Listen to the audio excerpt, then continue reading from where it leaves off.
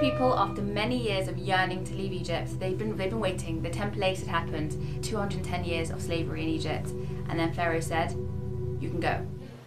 And then it was this mad rush of trying to gather everything from the Egyptians' houses. They had to rush into the houses, knock on the doors. They wanted to gather up the gold and silver. That's what God had told them to do. So they went to the houses, they, they'd taken out the gold and silver, gathering everything up. Think about how long it takes you to get ready to leave for school in the morning.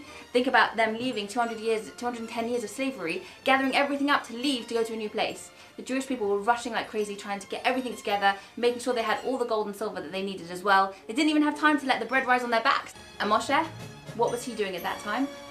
He remembered that a promise had been made to Joseph to collect his bones when the Jewish people would eventually leave Egypt.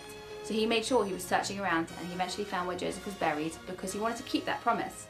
Contrast that with the Jewish people who were looking everywhere trying to make sure that they had all their items and their possessions and all these things ready for them. And Moshe, who was searching for the bones, trying to make sure that he had done the promise and fulfilled his promise for Joseph.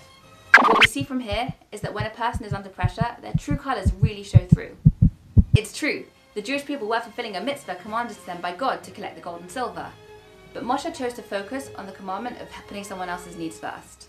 This is eerily similar to something that feels like it happened a thousand years ago, but actually only happened right at the beginning of the pandemic. Let's rewind back to March. At a time when everyone was panicking, we knew lockdown was imminent, we were so, so stressed and so under pressure, and people People ran to the shops and queued up for hours and took all the toilet paper off the shelves and all the soaps and all the everything and made sure they had all the pasta to last them for six months because who knew how long this was going to last.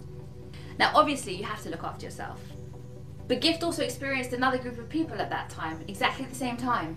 They were also standing in the queues, they were also taking items off shelves, they were also having a long shopping list and stockpiling. But the difference was they were shopping for other people. They were buying these items for people that could not leave their houses.